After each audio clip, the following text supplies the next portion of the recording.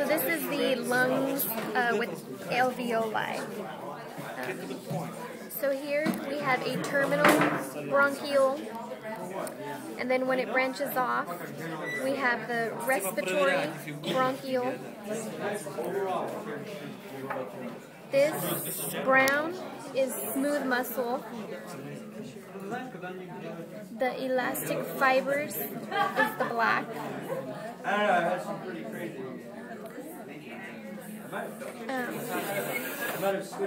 so here we have an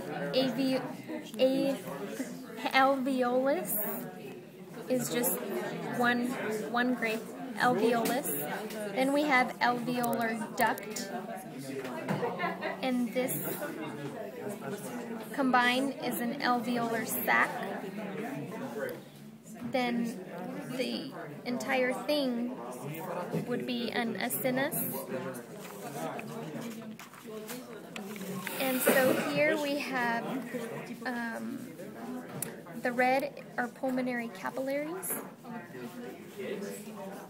Then we have the parietal, parietal pleura, the blue one, parietal pleura. Then in the middle, the black is the intrapleural cavity. And then the brown, the closest one in, is the visceral pleura.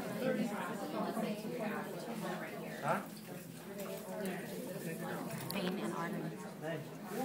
Here we have the pulmonary artery, and then here we have the pulmonary vein.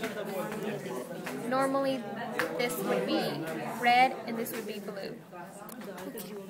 I shouldn't even mention that.